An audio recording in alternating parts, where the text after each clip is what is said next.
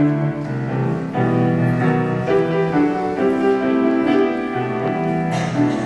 I had my two more.